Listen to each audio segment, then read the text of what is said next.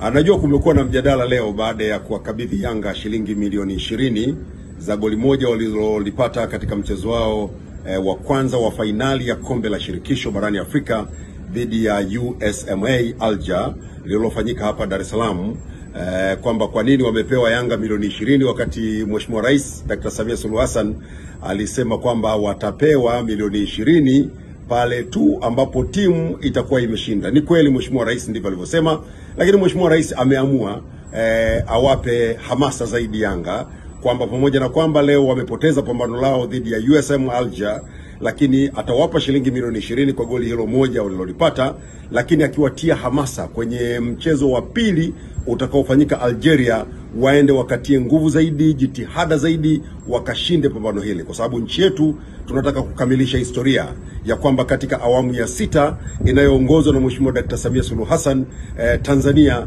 iliibuka mabingwa wa kombe la shirikisho barani Afrika kombe kubwa kabisa linaloandaliwa na shirikisho la mpira barani Afrika CAF.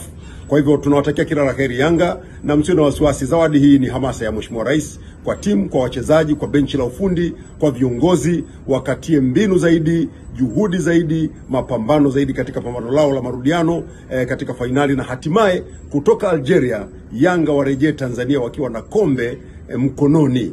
Mama anataka kombe, mama hataki mbambamba. Mama hana mbambamba, mama anataka kombe.